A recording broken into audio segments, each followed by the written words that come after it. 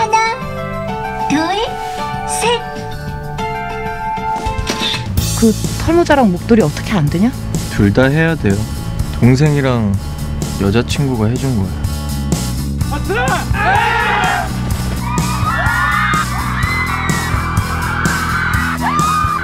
이거 우리 반 도미가 보낸 거지? 거울 비추. 응. 사귈 거야? 호야 걔가 좋다고 얼마나 달라붙던지 복싱부 애들한테 우리 오빠 괴롭히지 말라고 전해주세요. 난 항상 오빠 옆에 있었어 엄마 뱃속에서부터 쭉 앞으로도 계속 같이 있고 싶어 나 오빠 좋아해 무슨 소원 빌었어? 난 쉽게 이뤄질 수 있는 소원이 아니야. 무슨 소리야?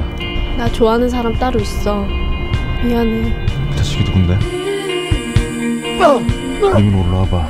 내가 죽여줄 테니까. 이강 선배한테 이겨서 복수라도 하려고? 그게 무슨 의미가 있어? 뭐가 달라져? 하지마 안 돼. 왜 너도 그렇게 말하는데? 전 맨날 도망만 다녔어요.